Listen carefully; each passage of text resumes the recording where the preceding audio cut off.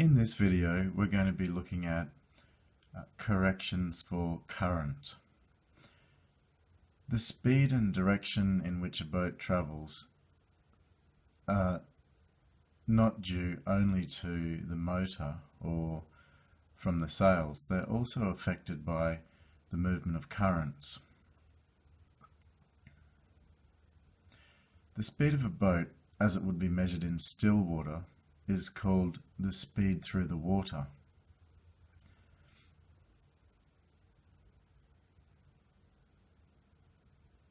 The true course and direction of a boat are called the speed and course made good. So let's just make a note of those two things.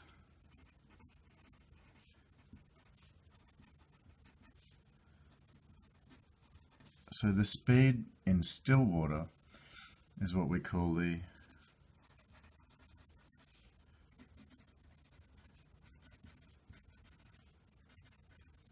the speed through the water, but the true course and direction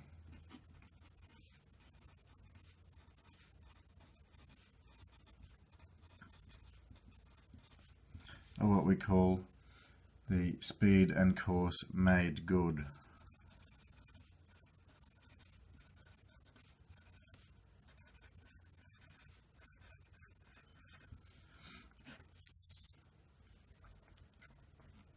So let me give you an example.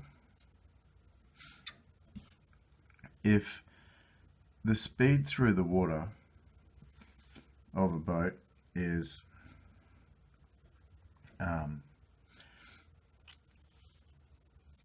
five knots in a northerly direction, we can represent that by drawing a line five centimeters long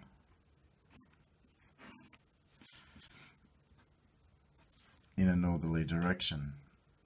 So this line represents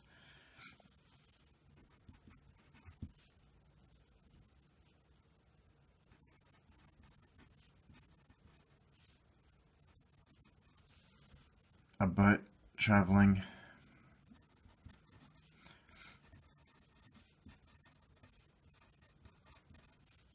through the water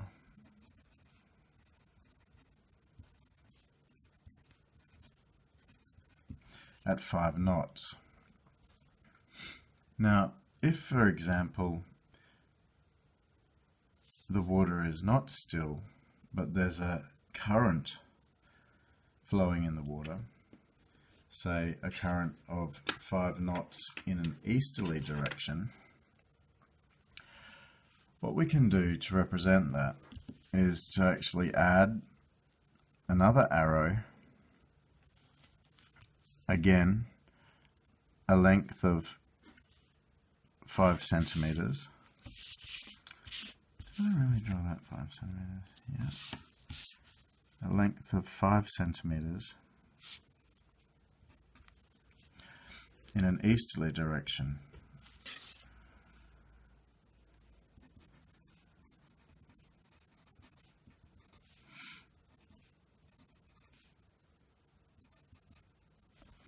So here we have the speed through the water of 5 knots, the current of 5 knots in an easterly direction. We might want to then determine what's the speed and course made good.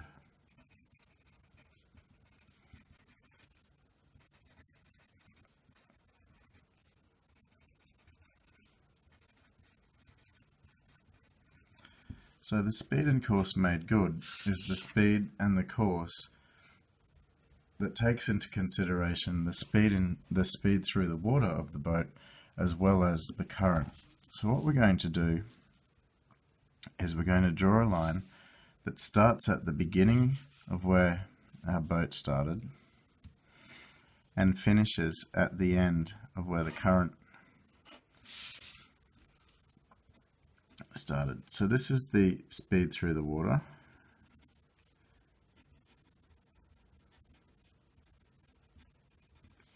This is the current. And this line here that we've just drawn in is the the speed and course made good. So what we do then to work out what the speed actually was, what the speed actually is, the speed made good, is we use our ruler and we measure the length of the line. Now each centimeter represents one knot. So this line is uh, 72 millimeters, 7 point, well, let's say it's 7.1 centimeters. so that represents a speed of 7.1 knots. And to determine the direction, we're going to use our uh, protractor. We're going to place the center spot of our protractor on the starting position of our course made good. We may need to extend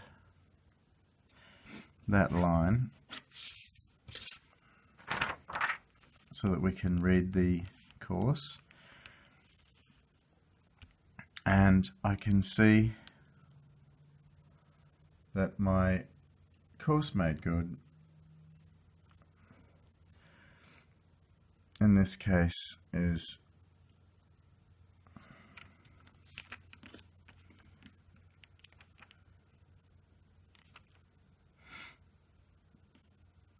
Forty-five degrees.